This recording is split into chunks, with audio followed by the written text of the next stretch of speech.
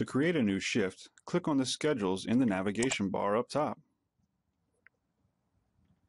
Click on the Add button to create a new shift.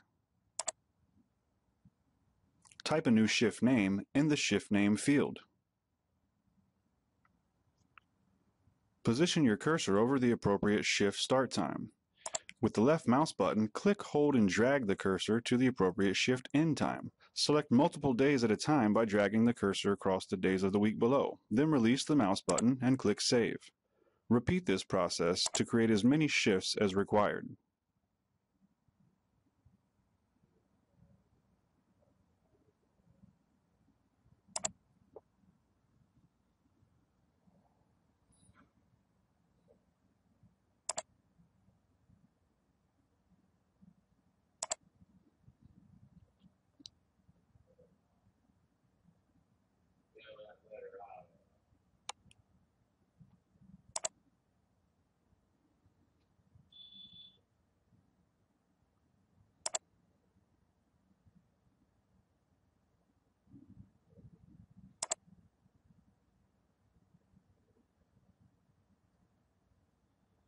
To edit an existing schedule, click the appropriate schedule from the list, then click the Edit button.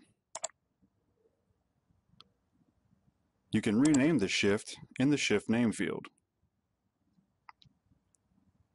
Position your cursor over the appropriate spot in the blue highlighted area. Click, hold, and drag the cursor to remove the selected time frames. Then click Save.